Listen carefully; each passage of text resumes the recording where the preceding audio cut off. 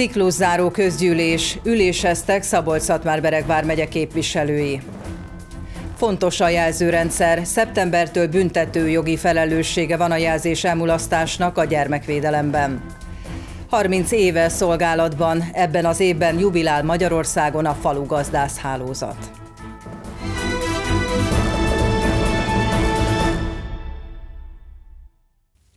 Ciklus záróülését tartotta a Szabolcs-Szatmár-Beregvár megyei közgyűlés. A Kölcsei Televízió híradóját látják. Köszöntöm Önöket! A képviselők elfogadták a Felső Tisza vidéki vízügyi igazgatóság tájékoztatóját, amelyben beszámoltak a Vármegye ár- és belvízvédelmi helyzetéről, a vízügyi ágazat védelmi szervezetének és infrastruktúrájának felkészültségéről, valamint az aktuális fejlesztésekről. Emellett több a Vármegye turisztikai fejlesztését érintő projektről, valamint az elmúlt időszak gazdasági programjáról is szavaztak. Négyszeresére nőtt a Vármegye ipari kibocsátása 2010 és 2022 között. Az egy főre jutó GDP vármegyei hozzáadott értéke ugyanebben az időszakban két és félszeresére nőtt. Ez az inflációs hatásokkal együtt is egy nagyon komoly teljesítmény, amelyre büszke lehet a Vármegye valamennyi lakója, mondta el a Vármegyei Közgyűlés elnöke. A cikluszáró közgyűlésen a képviselők meghallgatták a Felső Tiszavidéki Vízügyi Igazgatóság beszámolóját, amelyben elhangzott a napokban lezajlott Dunai árhullám védekezési munkálataiban 145 vármegyei vízügyes szakember vett részt. A Feti vízégnek az előterjesztése nem az árvízről szólt, bármilyen furcsa is, hiszen a Tiszán nem volt árvíz, ezt valamennyien tudjuk, a Tisza nem áradt, legalábbis a Vármegyében, és arról azokról a fejlesztésekről adtak számot a szakemberek, illetve elmondták a Dunai védekezés kapcsán is, amit a Vármegyei szakemberek végeztek, hogy milyen további fejlesztések várhatók éppen a, a szájhelyzet miatt. A klímaváltozás következtében komoly kívások vannak, elsősorban a kevés csapadék miatt, illetve a, a, a nagyon hirtelen lezuduló csapadék, illetve a szárazság miatt.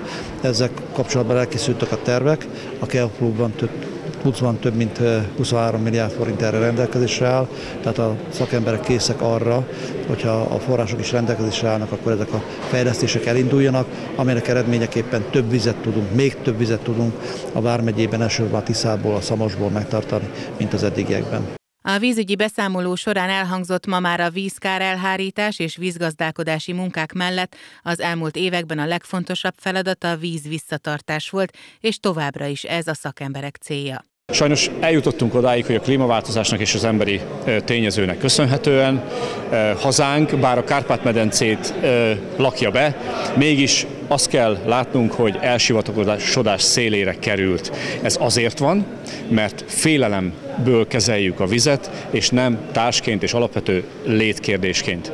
Az alapvető létkérdést úgy tudjuk megteremteni saját magunk számára, hogyha a vizet lételemünként kezeljük, és minél többet megpróbálunk belőle itt tartani. Minden adottságunk megvan hozzá, ezért ezt megtegyük. Szakmai alátámasztás kell, szakmai elhatározás, és nem utolsó sorban az, amiről a megyei közgyűlés elnöke beszélt, pénz. És akkor gyorsan meg, felvetem azt, amit hozzászólásomban is elmondtam. Az elmúlt években Európai Uniós forrásokból Magyarország, Kehopos és egyéb más pályázati forrásokon keresztül nagyjából 1500 milliárd forintos tételt hívott le környezetvédelmi célok megvalósítására. Ebből az összegből mindösszesen vízgazdálkodásra 180 milliárd forintot költöttünk az 1500 milliárdból. Felteszem a kérdést, hogy ez ki szerint elégséges, és a bizonyíték az, akár legyen Tiszai, akár legyen Dunai, vagy akár legyen Aszály, vagy elsivatagosodás, semmire nem elég. Meg kell fordítani ezt az arányt, a vízgazdálkodást komolyan kell vennünk, mert ez a létünk alapja.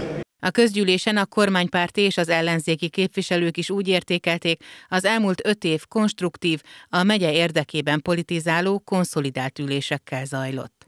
Sok-sok ciklus óta tagja vagyok kisebb megszakítással, míg országgyűlési képviselő voltam, addig nem ennek a Vármegyei közgyűlésnek, és én úgy értékelem, hogy egy nagyon konstruktív, együttműködő, tényleg szakmai alapokon véleményeket ütköztető közgyűlés volt.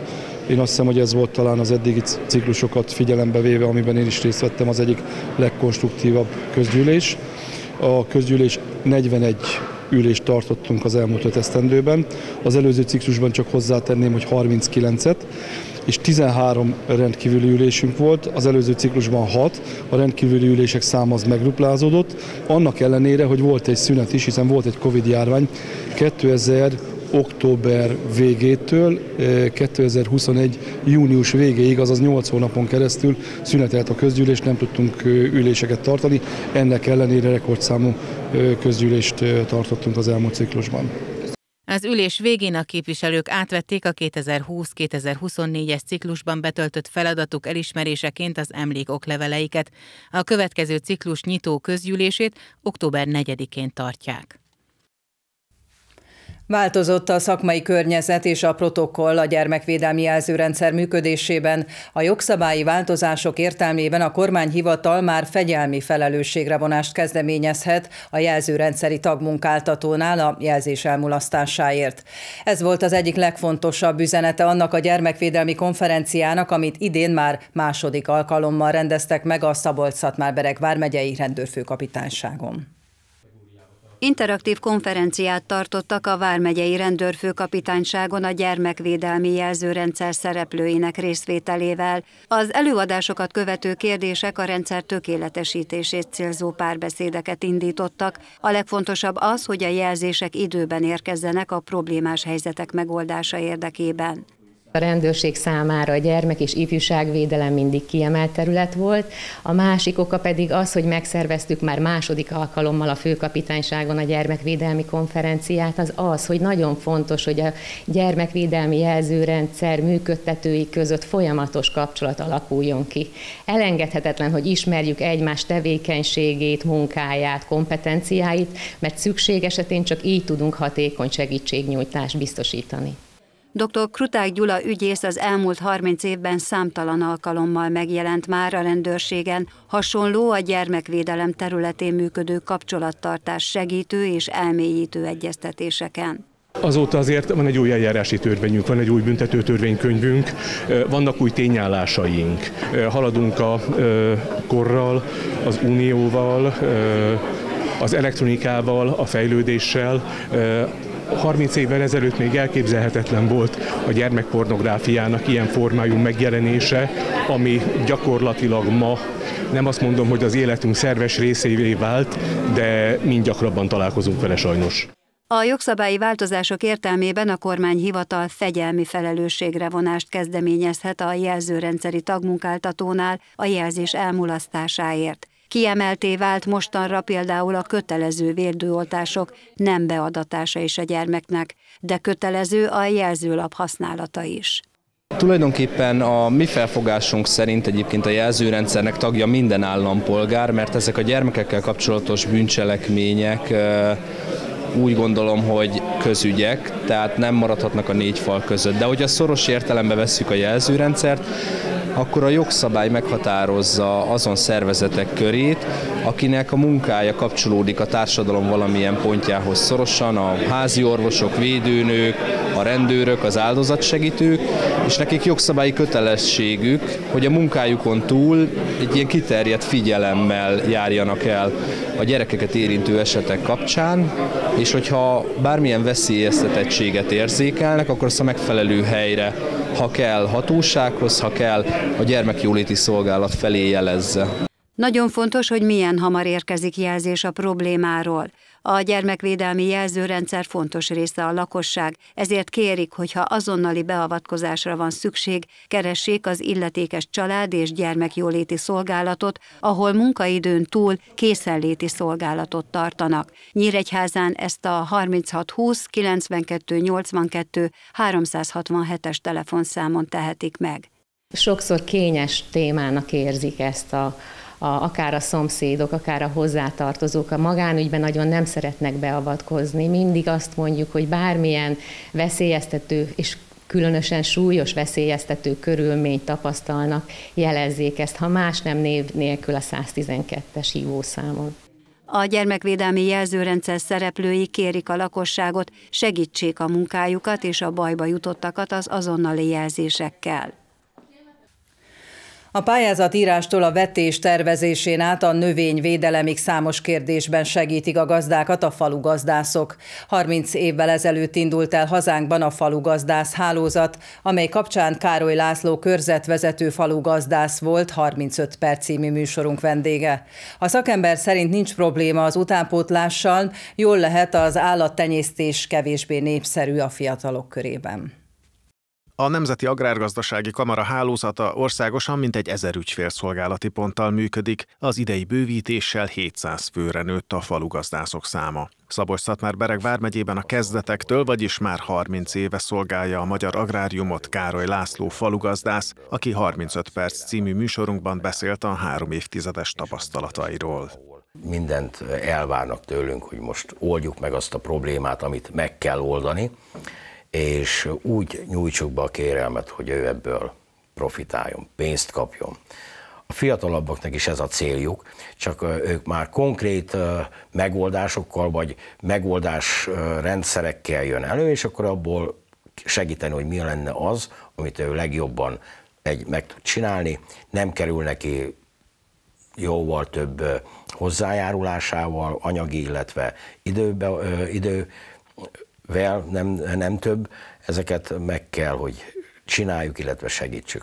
Károly László úgy látja, a mezőgazdasági ágazatban nem jellemző a fiatalok lemorzsolódása. Azok a fiatalok, akik a már meglévő családi gazdálkodást veszik át, többnyire folytatják a vállalkozást. Ezzel együtt generációváltás jelei tapasztalhatók az agráriumban. A termelők csökkennek, mert vagy elhalálozik, vagy már nem bírja fizikálisan ezeket a tevékenységeket, igaz ismerek 82 éves termelőt is, aki még folyamatosan részt vesz a gazdálkodásba, ugyanúgy műveli a földterületet, mindent megcsinál, amit éppen az ő fizikumához, illetve a lehetőségéhez mérten mindent meg tud csinálni, de egyre jobban fog, legalábbis úgy véljük, hogy egyre több olyan fiatal mezőgazdasági termelő lesz, aki tovább fogja ezt vinni. Igaz, van olyan ágazat, az állattenyészésre gondolok, amit ezek a fiatalok nem nagyon fogadnak kebleibe. Mert ott 24 óra, 24 óra, 365 nap, 365 nap kell tevékenykedni benne, még magával egy ültetvényel vagy szántóterülettel. Vannak időszaki munkák, amikor aztán tényleg hajtani kell, de utána van egy kis lélegzetvételhez lehetőség az állattenyésztésben nincs. A támogatási rendszer hazai és Európai Uniós szabályainak változása folyamatos kihívás elé állítja a gazdákat a pályázatírástól a vetésen át a különböző növényvédelmi szerek alkalmazásáig, és ezekben a kérdésekben is segítséget tudnak nyújtani a falugazdászok. A Nemzeti Agrárgazdasági Kamara honlapja segítségével bárki rákereshet, hogy a lakóhelyéhez legközelebb hol található falugazdász iroda. Összehangolt akcióban a városnak több mint 20 pontján közel 50 rendőr figyelte a szabálytalanul közlekedőket Szerdán Nyíregyházán. Az ellenőrzésbe szolgálati gépjárműveket, motorkerékpárokat, drónt és helikoptert is bevetettek. Helikopter körözött szerdán Nyíregyháza légterében, amelyből a szabálytalanul kanyarodó és előző gépjárműveket figyelték a rendőrök. A Szabolcs-Szatmár Bereg vármegyei rendőrfőkapitányság közlekedésrendészeti osztálya, a Nyíregyházi rendőrkapitányság és a Készenéti rendőrség közös közlekedés biztonsági ellenőrzést tartott. Az akció során a baleseteket okozó fő szabálysértéseket igyekeztek kiszűrni. Ide tartozik a gyorshajtás, az elsőbség, az előzés, a kanyarodási szabályok meg nem tartása, a követési távolság, a tilos jelzés figyelmen kívül hagyása, de ellenőrizni kell a járművezetők ittas, illetve bódult állapotát is, valamint a passzív biztonsági eszközök használatának az elmulasztását is ellenőrizzük ezen ellenőrzés keretében. Az összehangolt akcióban a városnak több mint 20 pontján közel 50 rendőr vett részt. Az Orosi úton szinte minden arra járó járművet kitereltek és a vezetőket megszondáztatták, de más technikai eszközt is használtak. Technikai eszközök tekintetében mindent, ami rendelkezésre áll, azt megpróbáljuk bevetni az ellenőrzéseink során, így jelen vannak a szolgálati gépjárműveink, megkülönböztető jelzéses, illetve megkülönböztető jelzés nélküli járművek, használjuk a szolgálati motorkerékpárt ebben az ellenőrzésben, de bevetjük a rendelkezésre álló drónt is, illetve a készítő rendőrség helikoptere is segíti a munkánkat. Az akciót havi szinten több alkalommal is megismétlik majd Nyíregyházán és a Vármegye más településein. A tekerőlant is megszólalt természetesen Sebő Ferenc Erkel és Kossuth Díjas zeneszerző nyíregyházi előadásán. Az énekelt versek az 1100 éve Európában, 20 éve az Unióban elnevezésű országos program sorozat részeként hangzottak el a könyvtárban, a zsúfolásig megtelt kamarateremben. Sebő Ferenc mellett Sós Réka junior prima díjas népdalénekes is fellépett a műsorban.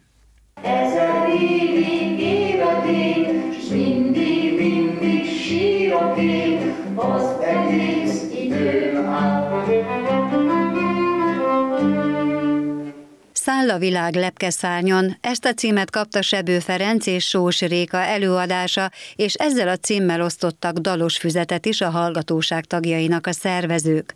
A dalos füzetben olyan költemények szerepelnek, amelyek bekerültek az Erkel és Kossuth Díjas zeneszerző zenés irodalmi műsorába is. A mi témánk most az 1100 év, ami a költészet szempontjából semmi, mert az időtlen. Úgyhogy régi költőktől, újabb költőktől is játszunk, népdalokat is énekel Sorsréka. Úgyhogy zárójelbe teszem, hogy a, a, a népdal az az énekelt vers a régi történeti műfajnak a továbbélése. Tehát az, az, az nem valami külön dolog, hanem ez maga az énekelt vers, csak már nem mindenhol énekli, csak egy-két helyen még tudtunk gyűjteni belőle de ez egy fontos műfaj, ahogy a népdal maga is fontos, mert ez volt a hétköznapi embereknek a művészete. Tehát a, a liturgikus zene az annak más célja volt. És hát az a bizonyos zene, amit, amit bámolunk színpadon, az, az a liturgikus zenéből fejlődött ki. A, a hagyományban azért az, az, azt tapasztaltuk, mint látványt, mint jelenséget, hogy nem az a művészet, amit nézünk, hanem az, amit csinálunk.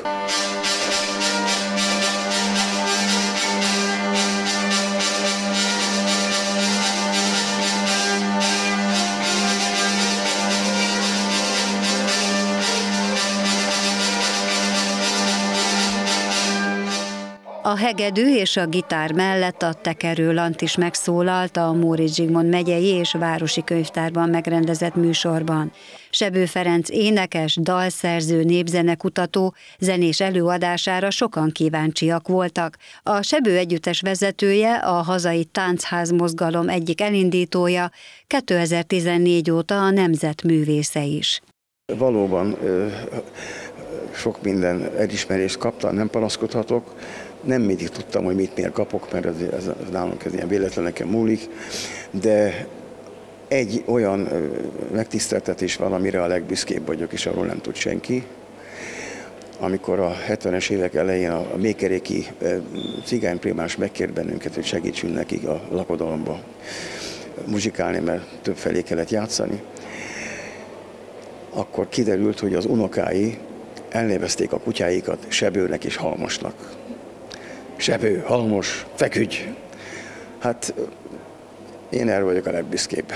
Tersánszki Józsi Erő, talán hallottak róla, hogy ő nem csak regényeket írt, hanem gitárjával értek, éneket, verseket adott elő. Tersánszki Józsi Jenőt tartja elődjének Sebő Ferenc az általa historikus popzenének is nevezett stílus tekintve. Kedvenc költője pedig József Attila, aki, mint az előadó művész kiemelte, már szintén foglalkozott az énekelt versek témájával. A műsorba József Attila költeményei mellett Babics Mihály, Nagy László és Veres Sándor versek is bekerültek.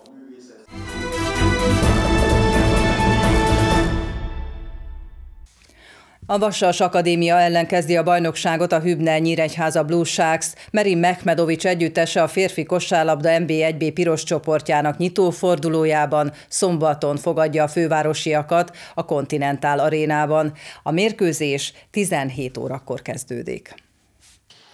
Már a július végi képzőtáborban ott voltak a kékcápák kosarasai, azóta pedig több tucatnyi edzésen és jó néhány felkészülési meccsen van túl a csapat. A bajnokság ezen a hétvégén rajtol az NB1B piros csoportjában, és bár az erőviszonyokról még nem sokat lehet tudni, a nyíregyháziak mindenképpen az élmezőnyt célozzák meg. Úgy gondolom, hogy bizakodóan várhatjuk a szezon kezdetet, hiszen lejátszottunk közel 7-8 edzőmérkőzést, minden olyan csapat ellen győztesen hagytuk el a parkettet, aki a saját csoportunkban szerepel, illetve azt gondolom, hogy a Sitko emléktornán sem vallottunk szégyent két első osztályú csapat ellen. Az látszik, hogy nagyon sokat jelent, hogy az első pillanattól már augusztus 1-től együtt készülünk, légióssal együtt, magyar játékosokkal együtt, és lassan két hónap után összekovácsolódik a csapat, tekintve, hogy két nehéz mérkőzéssel indul a szezon. Biztos nem lesz könnyű, viszont én nagyon bizakodó vagyok a csapat teljesítményét látván. Lépésről lépésre kell haladni. Első körben egy jó szezon rajt nagyon fontos, és stabilizálni a pozíciónkat az első helyek egyikén, majd a rájátszásnak a biztos elérése, és ott lépésről lépésre halad, haladni. Látszik az, hogy a Kaposvár nagyon erős lesz, a budapesti csapatok közül a Marca, BKG, a Vasas mindig erős, tehát azt gondolom, hogy egy ilyen négy-öt kiváló játékerőt képviselő csapat közül kell nekünk odaérni az első helyek egyikére. Merin Mekmedovics vezetőedző a felkészülés kezdetén sok munkát helyezett kilátásba, és az elmúlt hetekben tartotta is magát az ígéretéhez. Nagyon sok munka végeztünk, most is megy a felkészülés a meccsen, ami szombaton lesz. Hát még mindig ott állunk, hogy a fiatal csapat. fiatal csapatban nehéz mondani, mennyi munka kell, hogy ez minden jól működik. Optimista vagyok. Srácok azt a fiatalság próbálja, és ezt a sok munkát úgy venni, hogy ha a csapat jó szerepel bajnokságban, akkor neki egyéni fejlődés is ez, ez látható lesz. A játékos keret alaposan átalakult, de a csapatkapitány Bonifer Bendegus szerint mindenki megtalálta a helyét a pályán és az öltözőben. Nagyon sok az játékos, de már többször mondtam, inkább fiatalabb játékosok alkotják a keretet, és ezáltal szerintem kevesebb az olyan egyéniség, aki, akit be kéne törni, be kéne állítani a sorba, hisz mindenki úgy jött, hogy teszi a dolgát, és, és, és beállt a sorba egyből, úgyhogy ez a hierarchia viszonylag gyorsan kialakult, és abszolút nem volt semmilyen probléma, úgyhogy nagyon jó hangulat. A szombati ellenfél Vasast felkészülési meccsen Budapesten legyőzték a cápák, de a vezetőedző szerint ez nem jelent semmit a bajnoki meccs szempontjából. Ez egy nagyon kellemetlen ellenfél. Kellemetlen ezért, mert ők a halál komoly készülnek a bajnokságra. Ők biztos egyik csapat, aki első kezd felkészülés. Ott minden van a, a terv alapján, ott nincs improvizáció, ők saját roster úgy csinálták, ahogy játékkoncepció mondta, igazolták néhány jó játékos, néhány is elment, de nagyjából kőkemény meccs várok, és ez nagyon fontos meccs. A Hübner Nyíregyháza Blue Sharks Vasas Akadémia mérkőzésen szombaton 17 órakor dobják fel a labdát a Continental arénában, a Kölcsei Televízió nézői pedig kedden 20 óra 30-tól láthatják a találkozót. A nyitóforduló további párosítása a következő, Meavc Fót, Dávid Kornél Kosárlabda Akadémia, Óbudai Kaszások, Kaposvár TF Budapest, BKG Prima Akadémia Jászberény és Deac 23 Salgótarján. Szeptember 26-án csütörtökön a Kölcsei Televízió híradóját látták, nem sokára jön az időjárás jelentés, friss információkkal pedig holnap este is jelentkezünk majd. Számítunk akkor is a figyelmükre, viszontlátásra! Thank you.